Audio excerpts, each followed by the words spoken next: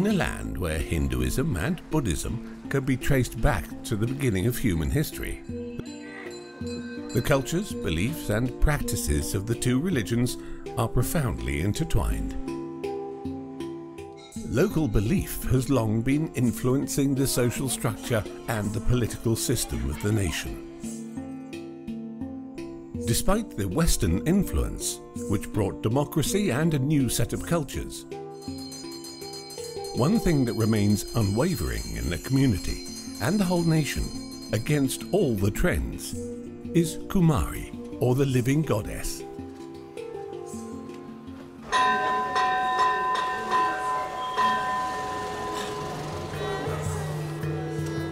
A five-year-old girl is carried out of her room by her father. The chair represents a little throne, with the red flowers decorating the top representing a crown. Her feet cannot touch the floor at any cost. She is Kumari, or the little goddess of the Nepalese. Kumari means princess in Sanskrit and purity in Nepalese. A Kumari is therefore considered a pure little goddess, whom Buddhists and Hindus in Nepal believe is the representation of God. A Kumari is revered by the public, including monarchs. The practice can be dated back to the 6th century. Unlike other gods with which we're familiar, Kumari is a living goddess.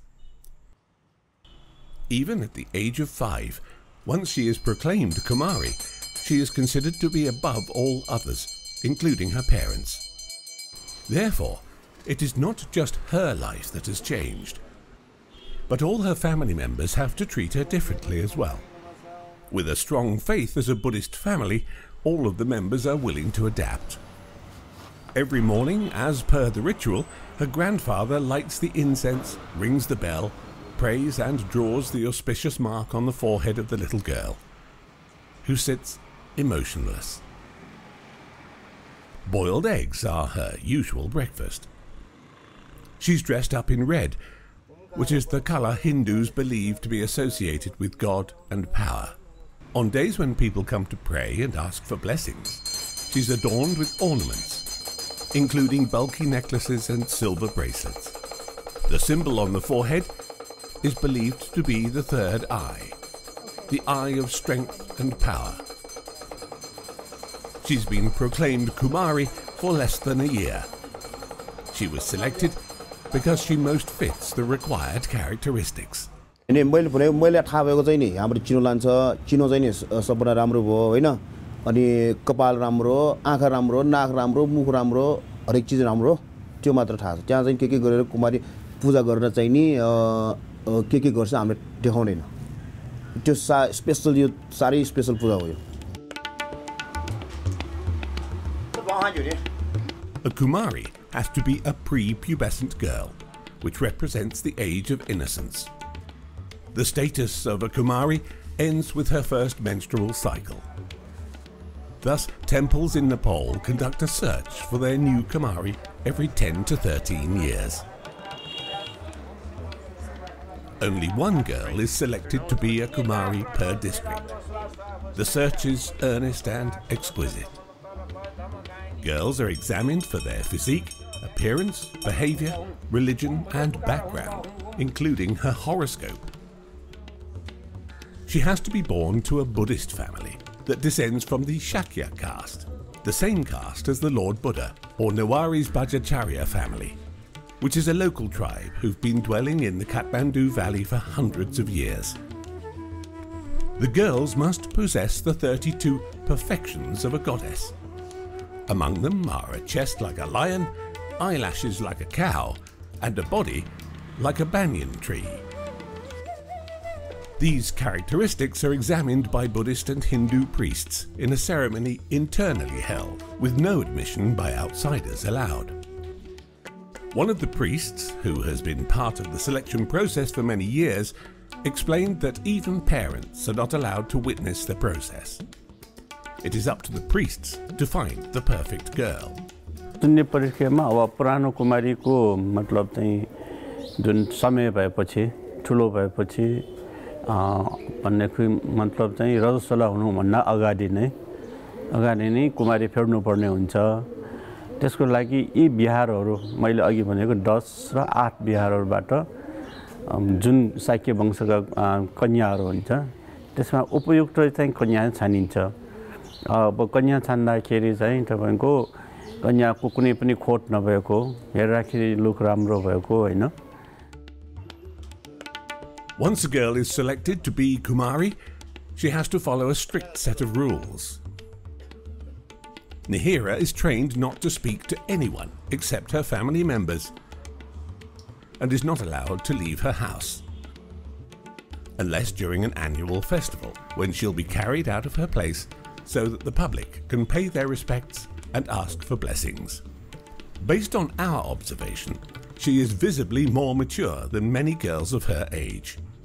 Her duty, even at the age of five, is to welcome devotees in a mature manner and make auspicious marks as blessings.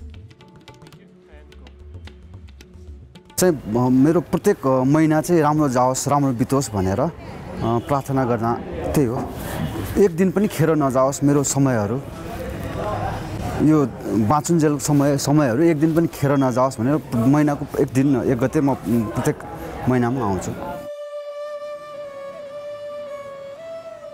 According to the belief, Kumari only have three facial expressions, which are angry, serious, and smiling. Some believe that these expressions can predict the future.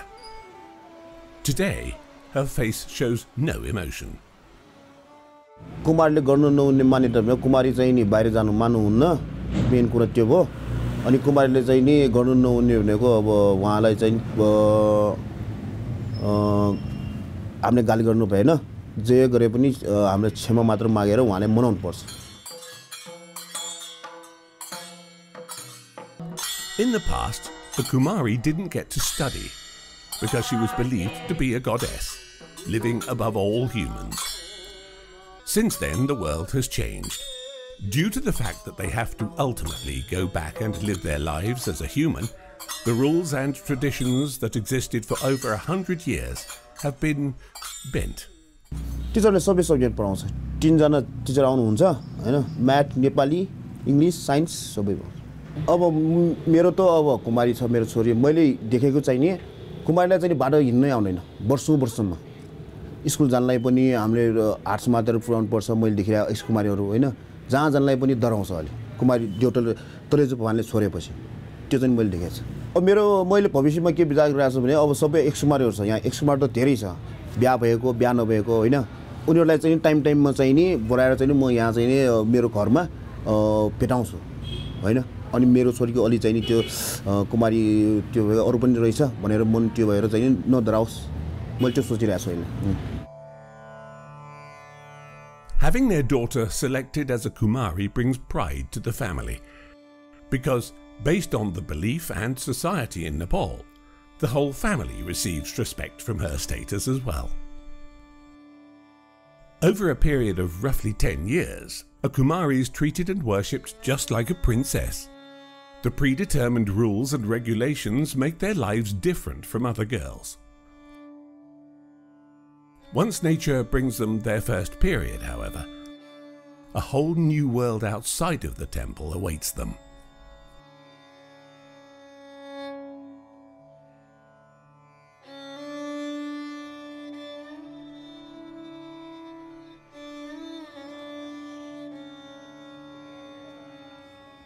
In a way, being a Kumari cuts ties with the external world.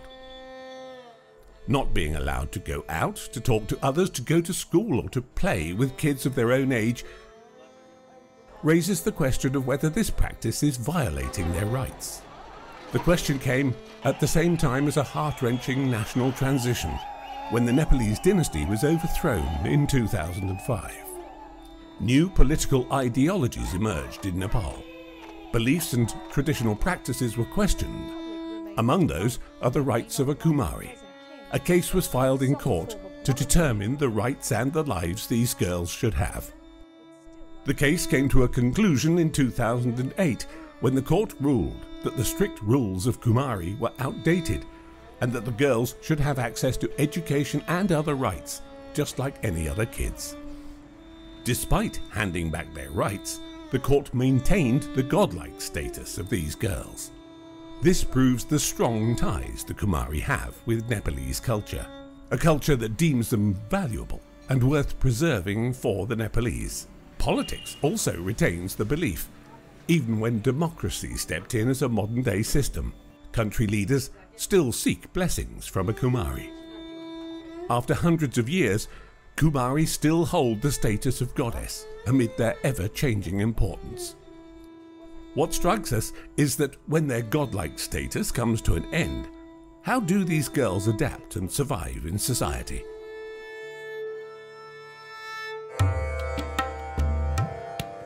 This 13 year old girl with long hair and a beautiful dress is Matina, a former Kumari of a big district in Kathmandu. She was considered the most esteemed Kumari. She was proclaimed a Kumari at the age of three. Today she is finally back with her family after her nine year duty as a Kumari. Thus, she's able to talk directly to us as someone of equal status. Now, she's a regular girl, but the traditional beliefs made her the girl from whom presidents and country leaders once asked for blessings. And I'll come in the Kumari house and to uh, to give a golden coin here to to give the Kumari and to give a blessing at him. Unlike Nihira, the first Kumari we met, Matina wasn't living with her family when she was a Kumari. During her time, however, the regulations had already been adjusted. While living in the temple, she got to study and learn about technology, just like any other kids. मैले कुमारी घरमा पढ्दा school गएर त्यहाँ पढ्ने किताब सेमै हुन्थ्यो पहिला स्कुलमा गएर साथीहरूसँग कसरी पढ्छ त्यो जान्न मन लाग्थ्यो Though the rules have been loosened, the outside world is definitely bigger than the one in which they lived as a Kumari. The school will be her first new world experience after stepping out of the house this time. She stands in line, blending in with other students before going to classes with her classmates. In this world, she is, for the first time, able to make friends who can touch her and talk to her as a normal human being. In this world, she can look into other people's eyes and openly express her feelings without any restrictions. The first day at school is a day to remember for every child. It happens at the age of four or five for other youngsters, but for her, it happens 10 years later than that. arrived the school, she feels very shy and hesitate to enter the school premises. But all the all the students, her friends, they already they go often there, that place Kumari Ghar. Then they are so closed. That's why she is in the same level. She is trying hard. She is improving. Since she hasn't interacted with other people for almost her whole life, it's not unexpected that she is shy and hardly makes eye contact when talking to strangers like us. A year ago, these interactions would not have been possible, since she was still a Kumari, the living goddess of the Nepalese. If a Kumari were an adult full of ego, living a life as a normal person might not be this easy after having been worshipped and given importance for so long. The adolescent in Matina, however, means she naturally seeks liveliness, just like others of her age. Today, she's just a normal girl trying to adjust to this whole new world.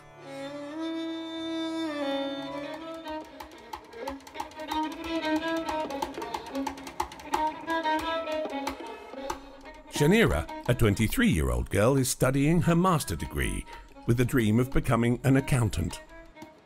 She is also a former Kumari who lived in a temple for 10 years. If Matina is in a cocoon getting ready to become a butterfly, Shanira is a fully grown butterfly, ready to fly. From her uneasy experience adapting to her new life and meeting people, She now wants to organise training for other Kumari. She introduced us to her friend, who is also a former Kumari. They both want to revolutionise the regulations to make them fit the modern era. Because both of them experienced hardships on the very first step they took after leaving the temple. Uh, it was very difficult for me as soon as I uh, get uh, retired from the Kumari because first thing is I don't know how to walk because uh, when I was Kumari uh, people used to carry me when I go to outside so it was very difficult for me to walk and um, I used to feel very uncomfortable in wearing school uniforms. I don't like to wear it. It was blue dress and gray skirts. I was very uncomfortable in that and uh, it was very difficult for me to interact with the friends and mixing up with them in their circles. So different. They both agree that education is not the problem, but socializing is the true obstacle. It took a long time for Nishara to become this eloquent. Uh, yes, because um, at my time, in, as I said, education was just introduced, and only thing possible was teaching through the books not other thing. The the presentation skills the languages the arts music whatever i missed inside being as a goddess i wanted to introduce it for the current kumari. I don't want her to face the same problem afterwards in her transition period. So we thought of starting a group together to help her. According to belief if a kumari falls sick or cries it's a bad omen for the country. The Nepalese royal massacre in 2001 and the 2015 earthquake have been linked by many Nepalese to the illness of Kumaris, which included Shanira and I was sitting on the throne and I was uh, the chairs were rolling down. So some other people they came to see me and uh, one of them was a priest who, who selected me. Mm-hmm. and he was there and said he saw me crying and then said that this is a very bad omen for the nation and we need to ask for forgiveness to the goddess. So he was uh, you know about to do perform some rituals but then at that moment uh, we heard the news that the royal family has been collapsed so that's why and then I stopped crying and laughed I don't know what happened to me I, I just don't know Though education and modern society have shaped Shanira into an ordinary girl, another side of her life is still tied to the Kumari beliefs and traditions. She's living with her aunt, who is the oldest Kumari in Nepal. Her aunt retains the status of Kumari, as her first menstrual cycle never came. In the outside world, she is a confident girl who's working hard to be a good accountant. Here inside this house, however, time stands still. She's still taking care of visitors who come to worship and ask for blessings from her aunt. This is the belief that has been with her family for generations. Shanira's life is a reflection of Nepal, a country of parallel worlds. One is the democratic and modern world, in which things are constantly evolving. The other is full of beliefs and faith that have been questioned, yet are so intertwined with people's life that they cannot be demolished.